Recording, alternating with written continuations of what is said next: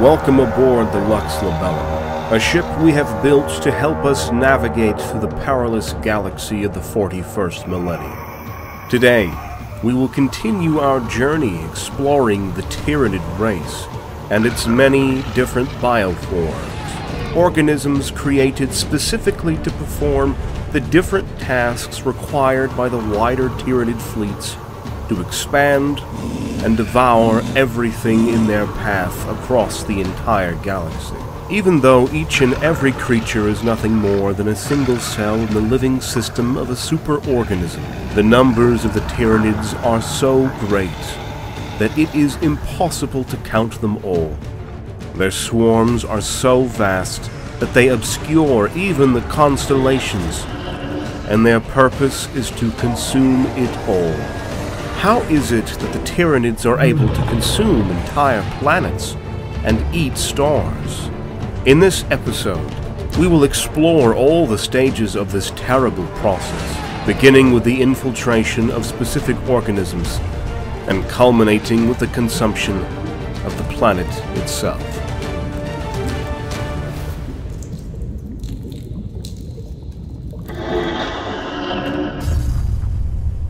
After eating all of the biological and organic material on a recently invaded world, Tyranid hive fleets typically move in ad hoc formations known as tendrils, migrating to nearby planetary systems and reproducing many times their initial number.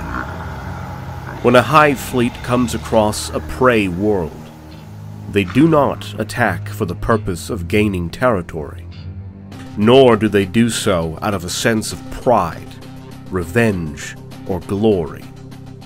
Instead, they invade in order to collect valuable biomass that they use to satisfy their voracious and endless appetite. It is a matter of survival. A never-ending supply of food is necessary for the Tyranids, not just to maintain the health of the hive fleets, but to also breed new creatures. Hence, when a hive fleet invades a world that is abundant in life, every action that is taken by each and every tyranid creature is honed, sharpened to a common objective. The complete and efficient assimilation of that world's organic populations, ecosystems, and bioresources. In order to achieve this objective, the Hive Fleet raises an arsenal of varied bioorganisms, with the specific goal of vanquishing any and all protectors of the prey world, before the globe is stripped of all of its biomatter and consumed in its entirety. Since many planets and locations across the galaxy are inhabited by all manners of Xenos races, humanoids, and creatures that intend to defend their planets in case of invasion. The bioorganisms that now conform the Tyranids are a very extended and diverse roster of creatures created to kill and bring low all manners of foes. They have simply adapted to overcome any defense to hack down any defender that would stand in their way. They have adapted to devour worlds. They have evolved to become the apex predator. Just as what happened with the world of Tyran Prime, which was consumed in its entirety and left drifting in space as a giant dead rock. When a Tyranid hive fleet invades a prey world with the intention of stripping all life from the planet, it accomplishes it in several separate stages. Each new wave of the invasion brings with it a new group of biological nightmares that have been fine-tuned to plant the seeds of destruction and death. In a matter of days, the planet that may have been previously prosperous is completely bereft of every last trace of organic matter. After being temporarily satisfied, the hive quickly leaves in search of its next target, looking for its next planet to consume, leaving behind nothing but an empty shell, a new dead star. Inquisitor Fidus Kryptman made it his life goal to study the Tyranid threat. He was the first to discover this horrible menace, and he made its presence known to the galaxy, and then became a keen observer of the terrible tyrannic wars, and then enlisted many others to this mission. His goal was a simple one, to understand this world-eating Xenos plague so that humanity could stem the alien tide and then purge it with the Emperor's eternal flame. But that goal cannot be accomplished without the sacrifice of many lives across countless battles, using each as an opportunity to gather data on what hideous forms these tyranids can produce and what their capabilities are. Alongside many others, Kryptman and his allies discover that the Tyranids had an extremely rapid rate of evolution, creating new variations of their forms to suit whatever obstacle they came against. These are called bioforms by the researching community.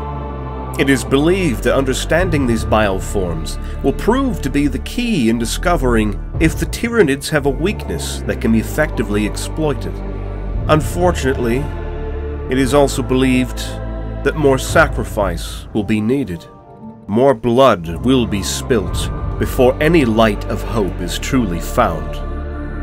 Now, let's dive into the stages of a Tyranid invasion, and let's explore the different bioforms the Tyranids use to accomplish their hellish goal. There is a cancer eating at the Imperium. With each decade, it advances deeper, leaving drained, dead worlds in its wake. This horror, this abomination, has thought and purpose which functions on an unimaginable galactic scale. And all we can do is try to stop the swarms of bioengineered monsters it unleashes upon us by instinct. We have given the horror a name to salve our fears. We call it the Tyranid race. But if it is aware of us at all, it must know us only as prey. Our YouTube channel is devoted to exploring the innumerable interesting details of the expansive Warhammer universe. If you are enjoying the content, please consider supporting us by commenting, giving us a like, and sharing this episode with your fellow Warhammer fans. Small actions like these are the ones that help us greatly with the YouTube algorithm, and it helps the content get recommended and reach more people.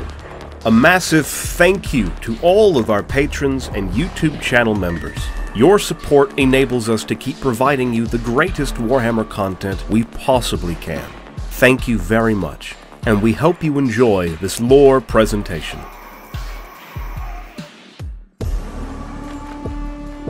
The infiltration process is the initial step in any Tyranid invasion.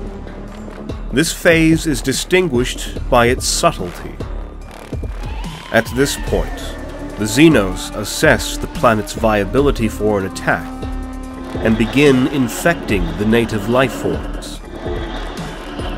This method entails sending out stealthy, quick-moving creatures to explore the planets and collect information about it. Some of these abominations are referred to as gene stealers, and they serve as the forerunners of the Tyranid swarm.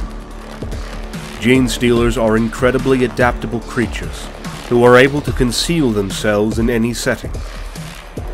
They have long, extremely sharp claws that are capable of ripping through armor, and they can infect other species with their genetic material.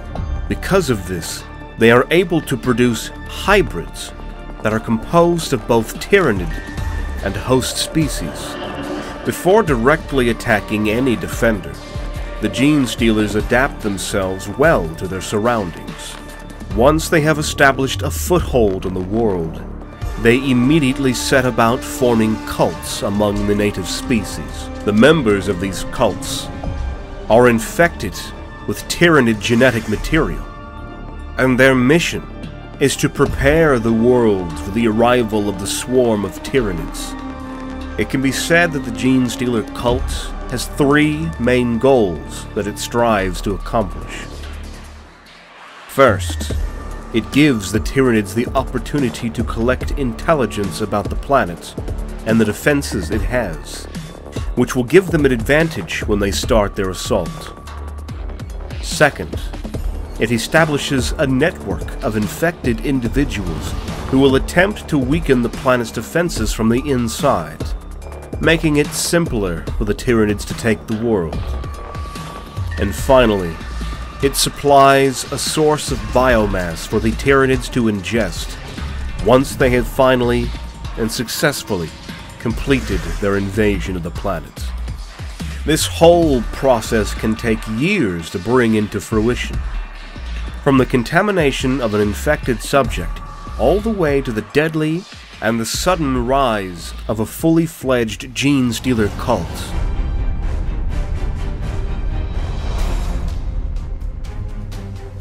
Foul creatures known as gene stealers infiltrate unvigilant worlds. A patriarch arises from the population's subverted flesh and projects a psychic beacon to draw the Hive Fleet ever closer. While this happens, other creatures are also in action. Vanguard drone ships are able to stealthily explore new star systems thanks to their high speed, their comparatively diminutive size, and the low psychic and propulsion signatures they emit.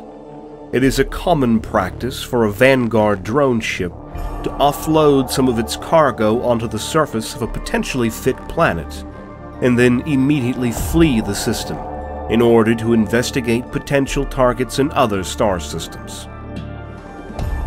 One of the creatures that are commonly dropped by these ships are the infamous Lictors. After being dropped off by a drone ship, the Lictors waste no time in venturing out into the uncharted regions of the newly discovered planets. They examine the atmosphere, the availability of minerals, and the features of all types of life using their feeder tendrils. In addition, these vicious predators seek for solitary creatures and even sapient beings to consume while simultaneously absorbing the memories of the prey they kill. As soon as a synaptic node is within range, a compilation of all of this vital information is performed and then transmitted to the hive mind. This helps the approaching Tyranid fleet determine what the weather conditions will be, the type of terrain the planet has, and ultimately, what types of bioorganisms it must unleash once the point of full assault begins. Any lictor that can be effectively destroyed prior to the start of a full Tyranid invasion can significantly slow down the attack, as the invading Xenos will be less optimized for the ecosystem of the planet they are attacking, and key information about potential targets or dangers are lost. All of these organisms have physiological abilities geared for concealment. These abilities are fully utilized so that they can safely study the natural surroundings at first. Because there are frequently only a few Tyranids involved at the stage, these specimens demonstrate an unusual level of self-preservation. These are agile and secretive creatures who conduct their operations with the stealth, concentration, and effectiveness that comes naturally to creatures of their kind, for which the conservation of energy is a vital component of the survival strategy.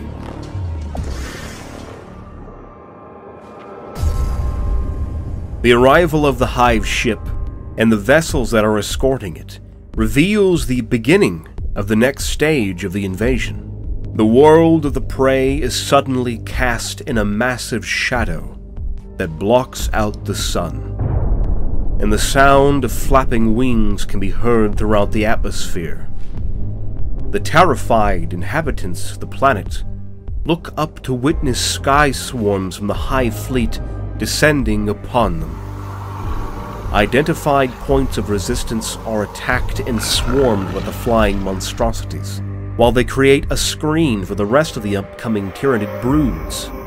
But just as this happens, something terrible is done by the Great Devourer, the approaching Hive ship, which acts as a powerful synaptic node of the Hive mind, is able to interfere with the warp in an area that extends for several light years. This is a suffocating, psychic signal that covers entire star systems and interferes with all types of warp travel and communication. As an effect of this, it is often too late for a planetary defense station or defending fleet to send out an astropathic message or other psychic cry for help. The planet that is prey to the Tyranids is suddenly isolated and condemned to face alone the swarm that is coming against them. Emperor's mercy. They blocked us out. We're on our own. As the sky darkens even further with the arrival of more bioships, mycetic spores and sky swarms are being constantly unleashed upon the surface of the planets. Gargoyles are a ferocious tyranid bioform that has wings, and they are frequently the first species of tyranids to be spotted when the tyranids attack a planet. It would appear that their primary mission is to hunt down the adversary and spread fear and confusion among their ranks. Gargoyles are designed to engage in ranged warfare, yet they are not completely useless in close quarters fighting. They have the ability to spit a poisonous fluid, which they automatically direct at the eyes of their opponents, in order to cause them to go blind. After that, they relentlessly attack their adversary, with their talons and barb-tipped tails, until either they or their target are killed. Present in this aerial assault are also harpies, ferocious tyranids that take the form of flying creatures. They are larger and more powerful than their closely related bioform, the gargoyle. The majority of their attacks are directed to hostile aircraft, as well as ground-based anti-aircraft systems. The harpies swarm around their targets, tearing them apart with their talons and blasting bioacidic spines from their backs. Hit and run strategies are utilized by these creatures in order to inflict the most amount of damage possible upon ground soldiers and vehicles once the air defenses have been rendered ineffective. Even bigger than the Harpies are the fearsome Hive Crones, flying monstrosities that are used to fight against the most dangerous of weapons that the defending faction has at their disposal for aerial dominance. They are able to fly at high speeds and maneuver with remarkable dexterity, making it incredibly difficult for ground-based anti-aircraft fire to be effective against them. They dive at enemy aircraft, destroying them with their bioacidic spines and tearing them to pieces with their talons as they come in for the kill. The mycetic spores that are also being unleashed contain various types of creatures within them, some of these, such as the various strains of Gaunts, start making preparations right away with the upcoming attacks. Alternate strains start to make their way underground by digging tunnels, creating routes for the other creatures to attack from. Others, like the Mawlocs and Trygons, start burying deeper to plant the spores that will later grow into gigantic capillary towers.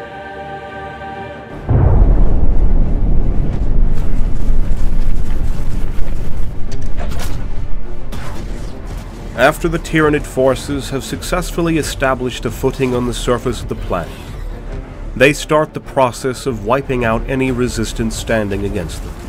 The planet itself seems to come alive in pain. The ground trembles and revolts as innumerable creatures emerge from below the surface, and the air chokes with millions upon millions of flying creatures and spores. There are never-ending swarms of the lesser bioforms, such as gaunts, gargoyles, and gene stealers, who rampage across the air, the land, and the waters. The number of gaunts that emerge from seemingly everywhere seem to be infinite for the defenders, who are often overwhelmed by the sheer force of numbers being thrown at them. Capillary towers, which range in height from tens of thousands to hundreds of thousands of meters tall, emerge from the surface of the planet behind the front lines of the battle. These towers collect the biomass that the swarm has previously ingested and then uses it to create more creatures to take part in the assault. And during this point, the cults created by the Gene Stealers rise up with full power, striking key points in the defense system, killing important figures, and ambushing any unsuspecting forces, creating further chaos and confusion within the defenders.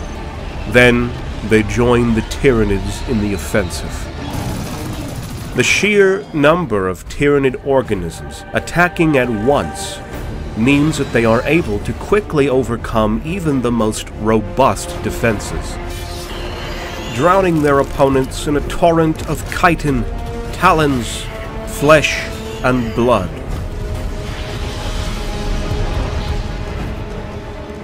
The hive mind allows the massive horde to coordinate their assaults with deadly efficiency.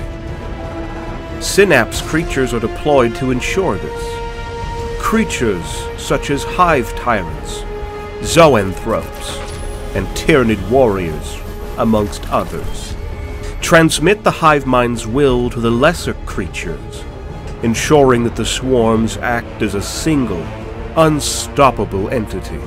First, let's discuss the zoanthropes, also classified as Tyrannicus animus abhorrens. These creatures are amongst the strangest of the Tyranid swarm's myriad breeds. They are extremely potent psykers, and it appears that they were designed to serve as living conduits for the deeply focused will of the hive mind. So extreme is their genetic development that they have atrophied bodies and swollen brains that are entirely energized by pure psychic power. A zoanthrope can fire extremely powerful warp blasts at their opponents. These creatures prefer to fight at long ranges.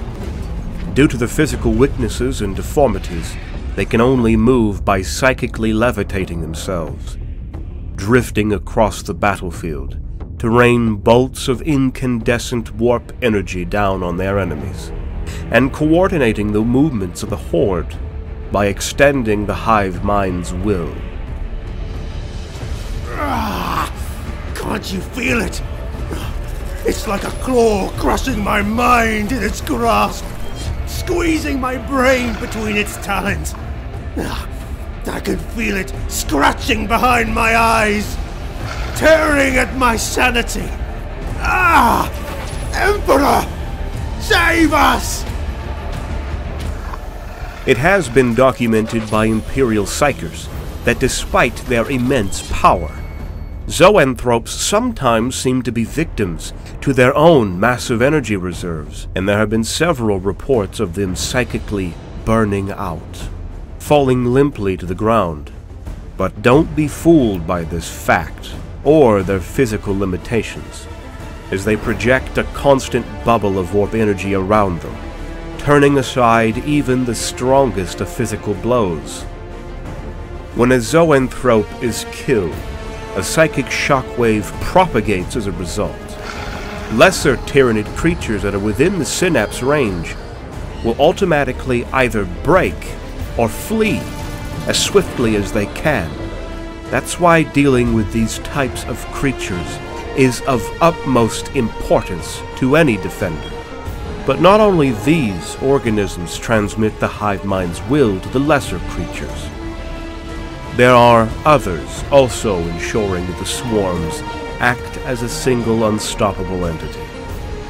Like the infamous Maleceptor, which is a recently discovered bioform in the Tyranid roster of creatures, as they aren't deployed often. These colossal creatures combine the brute strength of the stronger bioforms with the psychic might of a zoanthrope. These terrible creations can crush its enemies with both its claws and the formidable power of its mind. Being an adaptation of the zoanthrope genus, the Maleceptor has also given most of its upper body to a massed brain-like organ that acts as a raw, living conduit for destructive psychic powers. Another type of creature that helps to keep the momentum of the assault is the massive Tervigon.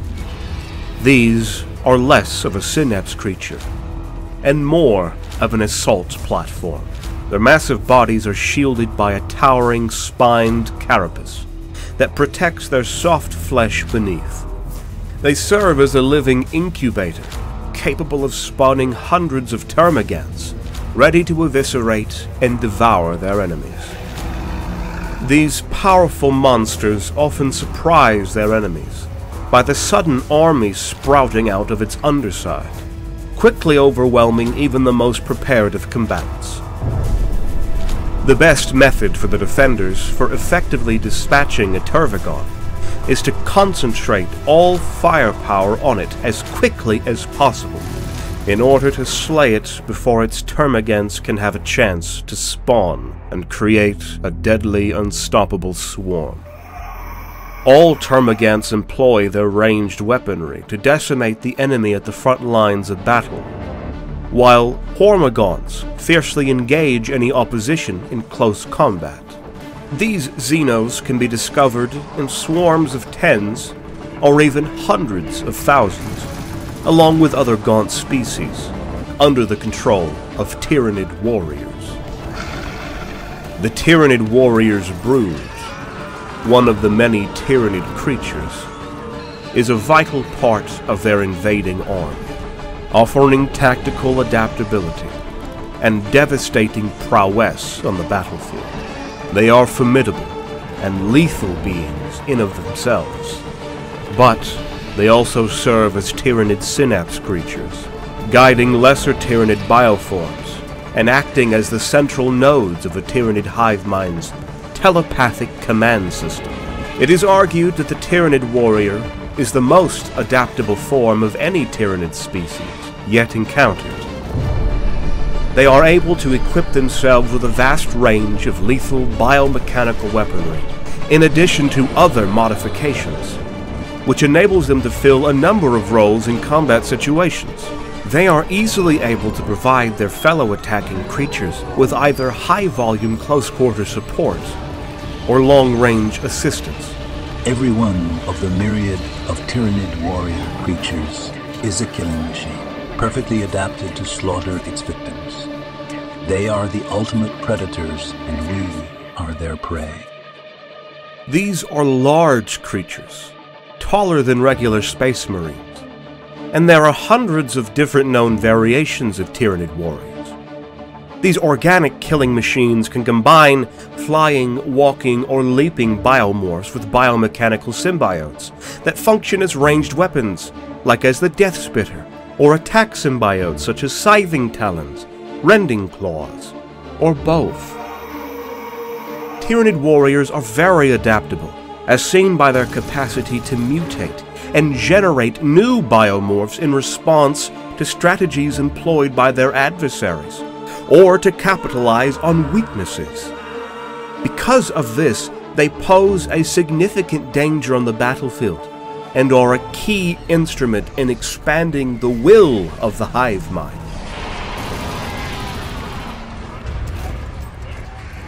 At this point, the planet itself is dying. The Hive Fleet's bioships are continuously unleashing clouds of spores as the assault happens. These spores begin the process of altering the prey world to suit the Great Devourer's needs, and prime the world for its absorption. Non-Tyranid life is eliminated from the oceans, the lands, and the atmosphere, as well as the air itself, the water, and all organic life. Everything is decomposed and prepared for absorption, while the planet's defenders are still being butchered, primed for their own consumption.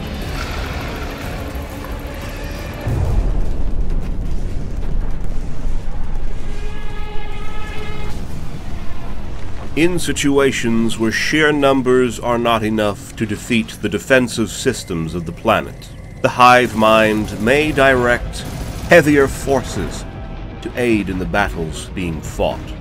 If a defense position appears to be hard to overcome, the hive mind is quick to adjust its strategy. It is possible to employ raveners and trygons to burrow under defenses and launch attacks from behind or beneath the enemy lines. Mawlocs also serve this purpose. They are colossal worm-like tyranid bioforms that burrow themselves, traveling deep underground to bypass any defenses and then emerge behind the enemy to destroy supply lines, command posts, or artillery batteries, then vanishing back underground before their foe can even retaliate. Severe earth tremors have been recorded in every instance of a Mawloc attack, becoming the primary indicator that such an attack is imminent. The unrelenting main assault is led by large creatures such as carnifexes and hive tyrants, which are heavily protected and armed with advanced bioweapons. Carnifexes are actual living weapons of mass destruction that are immune to damage from gunshots and small arms fire because of the thick carapace that covers their bodies and protects their most important organs from harm. They are typically armed with the most cutting-edge Tyranid bioweapons, such as venom cannons or barbed stranglers and their primary purpose is to serve as shock troopers in order to breach walls and reinforced gates, launch frontal shock assaults on entrenched enemy positions, and besiege fortified locations and armored vehicle formations. On the other hand, Hive Tyrants are massive creatures that serve as the main commander of a tyranid swarm, a synapse creature that stands tall above the lower bioforms. Hive Tyrants are arguably the most important creature on the battlefield, since they wield enormous psychic powers, and it is said to have the deepest synaptic link with the Hive mind compared to any other tyranid bioform. Standing over six meters tall, they tower over dreadnoughts and are covered in hard and thick carapace, making them hulking monsters that would impose their will even to the strongest of enemies.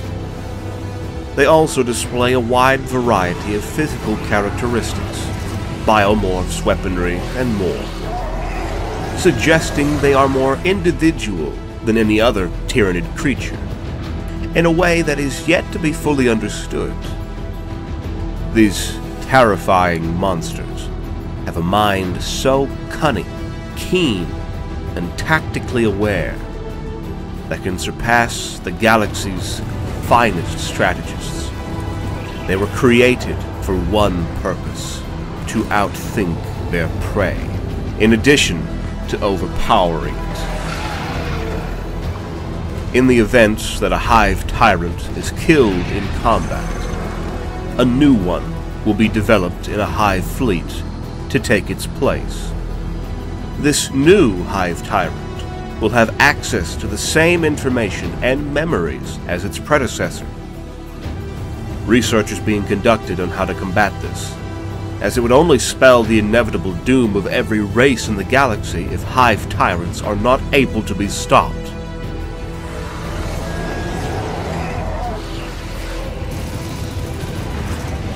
It is important to note, though, that creating these specimens requires a considerable amount of bioresources and time.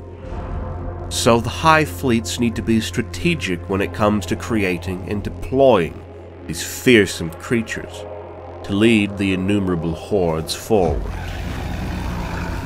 It is safe to say that at this point the defenders have thrown everything they have at their disposal against the Tyranids every stratagem, every terrain advantage, every military resource. Every desperate measure is being used, or has been used by this point. Majority of times, to no effect against the overwhelming forces of the Tyranids. Massive, towering beasts are deployed to serve the purpose of being living artillery cannons they fire at any remaining gates, walls, buildings, any structure that still stands. They fire at any defender who still fights, or any surviving inhabitants that still stands its ground against the infinite tyranid swarms that now floods everything. The famed Biovore, for instance, is responsible for the maintenance and development of an ongoing clutch of spore mines, living bombs that spread poisons, acids, and jagged chitin shards around the battlefield, covering their opponents and making combat difficult for them. They advance in combat by thumping forward and anchoring themselves into the ground with protrusions on their forelimbs. At the same time, they launch their foul payload from a dorsal opening, triggering a powerful and shuddering muscle spasm that throws the projectiles forward. So it is that the Tyranids advance and devour everything in their path, in a cruel series of waves of destruction and death, charging forward to establish battlefronts that can be hundreds of kilometers long. The assault is overwhelming to their opponents, with the Tyranids using sheer numbers and strategic assaults on key points to overrun their prey. They attack in waves, each wave more powerful than the last. Each wave adapted to counter the strategies used against them. At this point, even eliminating the Hive ship would not avert the damage already done. More so, the invading forces have firmly established an overwhelming presence on the target planet. The objective to defend can be considered lost by now. Even while the most aggressive bioforms continue to engage in combat, with the last pockets of defenders of the now doomed planet.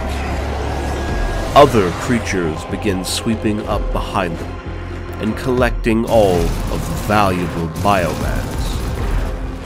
Any remaining defenders are inevitably devoured or are fleeing for their lives, only to still be devoured shortly thereafter.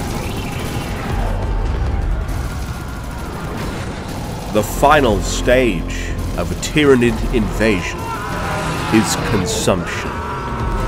This is when the Tyranids begin to absorb all of the biological matter on the planet. Untold thousands of rippers, which resemble maggots, are dropped from the sky to form enormous swarms that are packed closely together. With their mouths full of fangs, they eat whatever organic matter they come across, whether it be living or dead. They use their powerful jaws and acid to break down organic material, leaving behind only barren rock and ash. The consumption is swift and efficient, with the Tyranids leaving nothing behind. They consume all living creatures, from the smallest insects to the largest animals. They even consume the planet's atmosphere and its oceans, leaving behind only a lifeless husk. After these abominable things swallowed all that could be eaten, they drag and tumble their bloated bodies into the digestive pools created by the capillary towers, which extend tall against the skies and serve to gather all the dead biomass. These large capillary towers also grow in even the deepest parts of the planet's oceans, and as they continue to expand, they might even be able to alter the tidal flow of the planet, as their potent metabolic filtration systems continue to draw in all biomass to the hive bioships above. New rippers are continuously created to propagate the morbid cycle of consuming the planet. The tunnels excavated by Trygons and Raveners are expanded by burrowing variations of rippers, which also consume any subterranean fungus, root systems, and any other underground creatures they encounter. Mineral deposits are also being exhausted. Notably, rare ores and material that can be combined into the exoskeletons of the many biomorphs and upgrades that the hive mind deem adequate for future organisms. Always adapting, always evolving. After the planet's resources have been completely harvested and processed, the Tyranid fleet's hive ships will begin to absorb the biomaterial that has been produced as a result. This biomaterial will be used to fuel the creation of new Tyranid organisms, and will adapt the Hive Fleet for future invasions. While this is going on, a substantial amount of the capillary towers are also being dismantled, so that the biomass they contain can be reabsorbed by the hive ships above. It is argued that this point, the only option is to perform an exterminatus of the planet. It is far past the turning point, and is no longer salvageable. And by destroying what remains, the defenders are at least denying the biomass to the Great Devourer to feed, and it can no longer be used to evolve the fleet for further attacks. Although this method may not always be the most viable, and even then, it is probable that at this stage the Hive Fleet's many bioships would have eliminated any remaining ship or orbital weapon capable of doing such a thing. Once the planet has been stripped of all life and resources, the Tyranids move on to their next target, leaving behind a barren and lifeless husk of a world. This horrifying depiction of the Tyranids' unrelenting quest of biomass and their ability to adapt and evolve is shown through the process of planetary absorption. This method not only ensures the destruction of the entire planet that has been invaded, but it also strengthens the Hive Fleet, making it an even more powerful opponent in future instances of further invasions. The ravenous hunger of the Tyranids, along with their ability to assimilate and adapt to new environments, makes them one of the deadliest things in the galaxy. The Tyranids are unlike anything the Imperium of Man, or any other race on the galaxy, has faced. Their ability to psychically command through their synapses and the ever-present hive mind being connected to every battle makes it almost impossible to keep up with their rapid evolution and their countless bioforms. One might think that perhaps understanding this hive mind and the creatures that genetically splice new tyranid broods would be the key to stemming the infinite tide.